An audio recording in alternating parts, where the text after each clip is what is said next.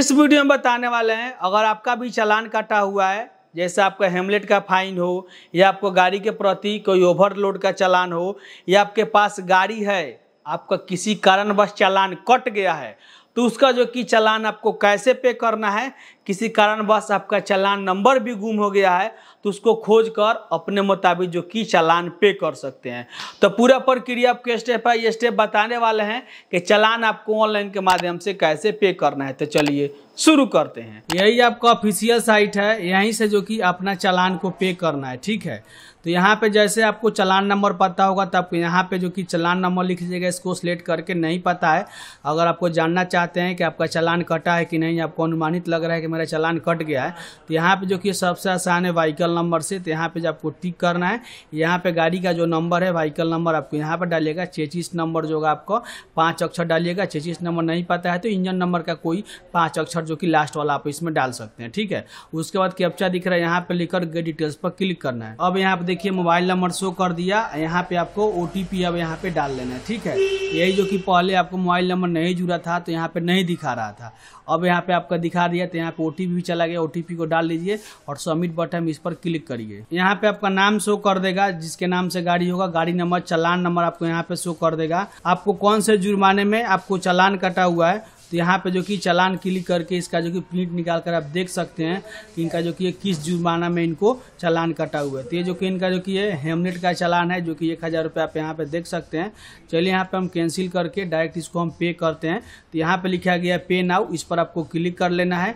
उसके बाद यहाँ पे आपको सिलेक्ट कर लेना है गेटवे के तौर पर ओ जी आर एस उसके बाद यहाँ पे टिक करना है। उसके बाद कंटिन्यू बटन इस पर क्लिक कर उसके बाद यहाँ पे पीरियड सिलेक्ट करना है कि जो कि चालान आपका किस सन में कटा था।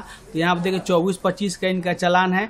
ये जो कि आदमी कैसे पे करेगा वन टाइम क्या कि एक हज़ार रुपया भैया, अब हम वन टाइम ही पे करेंगे।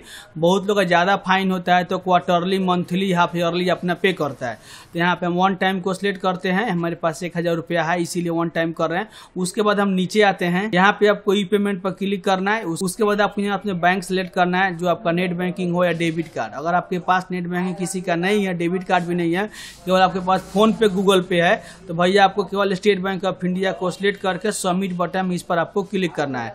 उसके बाद यहाँ पे जिस प्रकार होगा, केवल यूपीआई से आप पेमेंट करेगा, कोई चार्ज नहीं लगेगा। और आपको एस बी का नेट बैंकिंग है तो कोई चार्ज नहीं। अदर का होगा तो आपको यहाँ पे छः रुपया देना पड़ेगा, ऊपर से। तो चलिए यहाँ पे मेरे पास यूपीआई से है तो इस पर हम क्लिक कर लेते हैं। उसके बाद पूरा डिटेल्स आपको आ जाएगा, अब आपको नीचे आना है। और यहाँ पे आपको क्यूआर कोड दिख रहा है, इस पर आपको क्लिक करना है। क्यूआर कोड को आपको स्कैन कर देना है। जब स्कैन हो जाएगा, जिस प्रकार से यहाँ पे पेमेंट मेरा सक्सेसफुल हो चुका है थोड़ा सा आपको वेट कर लेना है। यहाँ पे देखिए ट्रांजेक्शन स्टेटस सक्सेसफुल हो गया। अब आपको ओके कर लेना है। यहाँ पे क्लिक लिखा गया, इस पर क्लिक करके आपको डायरेक्टली आ जाना है। यहाँ पे देख सकते हैं कि चालान पेमेंट सक्सेसफुल हो गया। अब किसी भी कस्टमर को या खुद का है तो आपको यहाँ पे प्रिंट निकाल सकते हैं उस रिसिप्ट का। तो यहाँ पे लिखा गया है जनरेट प्रिंट रिसिप्ट इस पर हम क्लिक करते हैं और इस प्रकार से आपका रिसिप्ट होगा। आपको यहाँ पे प्रिंट आउट इसको बाहर कर लेना है। तो इस प्रकार से आप देख सकते हैं कि आप जो कि किसी भी गाड़ी का अगर आपका चालान कटा होगा तो मोबाइल नंबर भी अपडेट करके तो आप चाहें तो चालान जो कि आप इसमें पे कर सकते हैं। तो इस प्रकार से आप जो कि ये घर बैठे अपने मोबाइल द्वारा भी चाहें तो चालान को पे कर सकते हैं।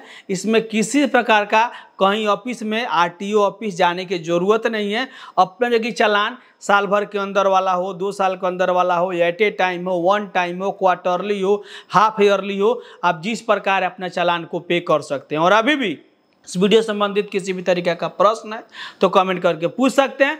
और मैं उरा शर्मा, फिर मिलता हूँ नए वीडियो, नए टॉपिक के साथ, तब तक के लिए जय हिंद।